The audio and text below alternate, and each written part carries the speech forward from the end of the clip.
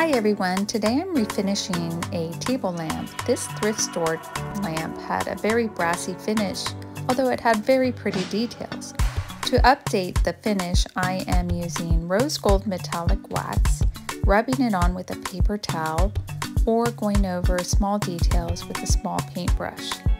This is only a rough coat for the base because it will be an undertone, but I felt it would be a very pretty color and the second color, which will be my top color, is Deco Art Metallic Paint in Shimmering Silver.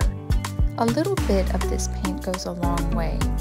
I simply dab my paper towel into the paint and start rubbing one coat over the rose gold.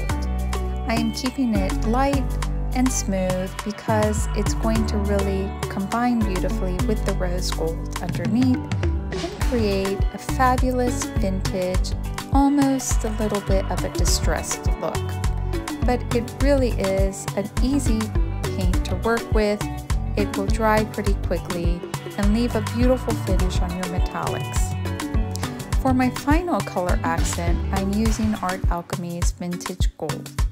This is to highlight in random parts. I use my finger and I just simply dab into the wax a little bit and rub it over edges and curves and up and down to create a little bit more depth and just add that vintage look to this table lamp.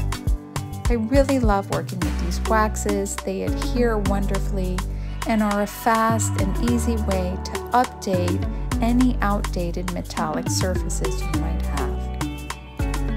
Sometimes something as simple as just changing the color of a piece will completely transform the appeal. Such was the case with this lamp and I really love the results of these metallic waxes. Thank you so much for watching. I hope you enjoyed this tutorial.